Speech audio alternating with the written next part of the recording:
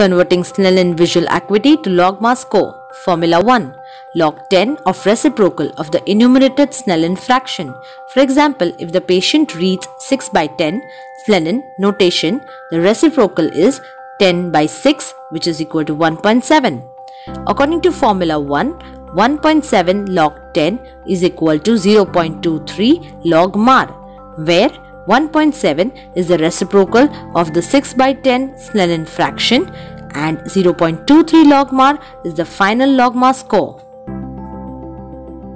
Formula 2 Logmar score is equal to 0.10 plus logmar value of the best line read minus 0.02 into number of optotypes read.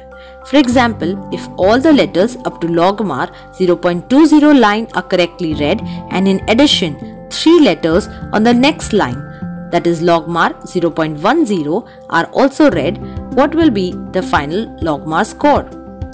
Therefore, logMAR score is equal to 0.10 plus 0.10 minus 0.02 into 3, where 0.10 is the constant the second 0.10 is the logMAR value of the best line read.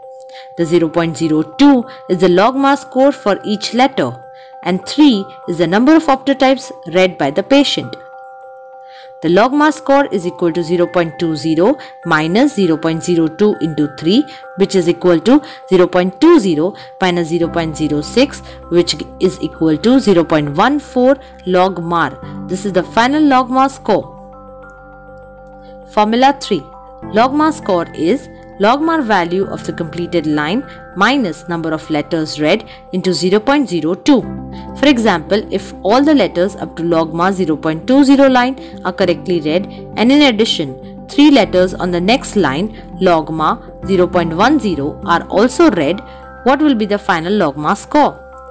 Logmar score is equal to 0.20 minus 3 into 0.02.